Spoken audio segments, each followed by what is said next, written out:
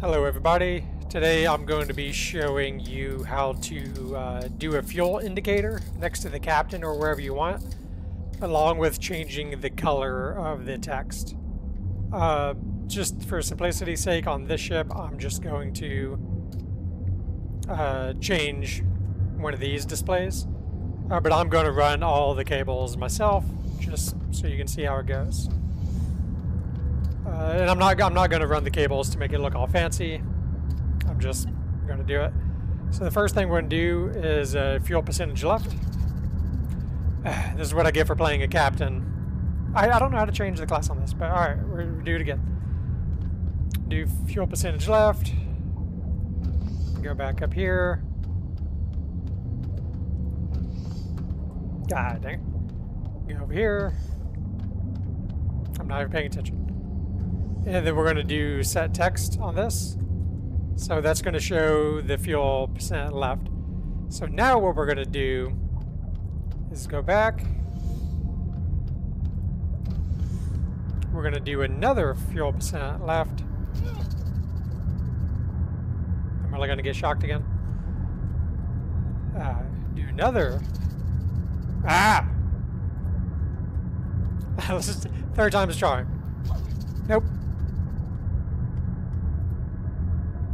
Son of a bitch.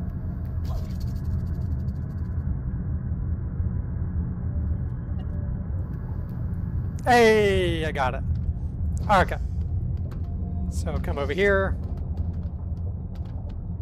And on this fuel percentage left, we're going to do the greater component, which is here. And I'll show how all this works as I'm going through it. So we have the fuel percentage left going there now. And then we want the uh, signal check out of this to go to the signal component, and that's going to go to signal in.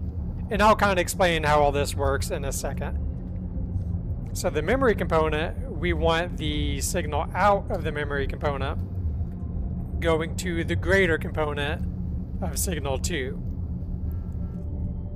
And then uh, on the signal component, we want the signal out to go here, and we're going to tell it to set text color.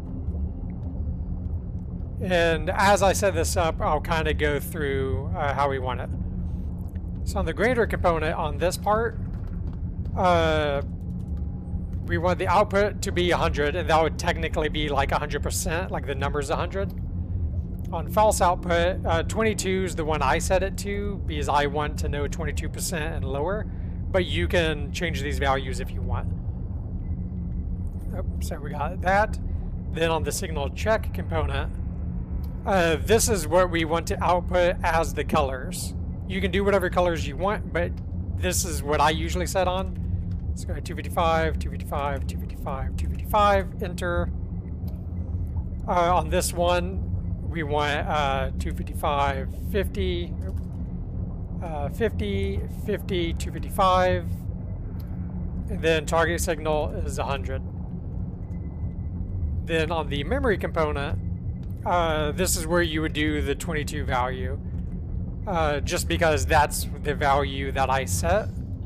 But if we want, we could go in here, and let's say this is 66 and then come in here and say 66. So if I did all this correctly, which is possible I messed up, when this gets to 66, it'll turn red and it'll do the color. So on the greater component, whatever the false output is, you want that to be whenever you want the color to change to another color. And on the memory component, that's what it's checking the value of. So you need this to be whatever percent you want it to check.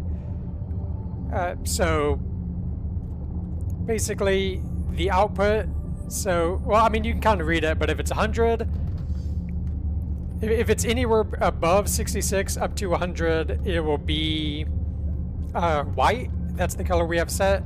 And then anything below the false output value, it's going to turn into the other color that we set in the signal.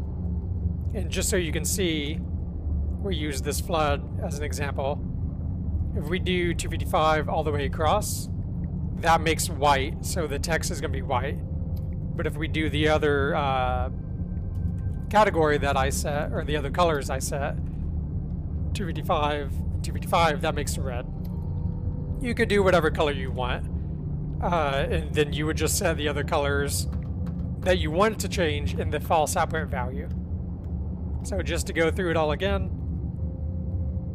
you want the nuclear reactor fuel percentage left going to signal in 1. You want the memory component go to signal 2. And the signal out, you want to go to the signal check component. With the output being 100 and the false whatever number you want it to check for, and then change the color. And then the signal out, uh, signal check component, that goes, that leads back to the greater component. And from the signal check, the signal out goes to the display as the set text color, since all this is just for color. And then the memory component is whatever you wanted to check against. So the memory component and the greater component false out needs to be the same number. Uh, if they're two different numbers, I don't know what happens. I've not tested that, but it probably doesn't work or gets weird. So you want it to be the same. Uh, so just for sake of clarity, you need two wires coming from the reactor to the text display. So you need a fuel percentage left going to set text, because that's actually how it reads and puts the text on the screen. Then all the other components are just for the color value. Uh, and then you can put the text display anywhere. I have it next to the captain. Uh, typically I try putting it uh, where they can easily see it. Down there it gets kind of weird.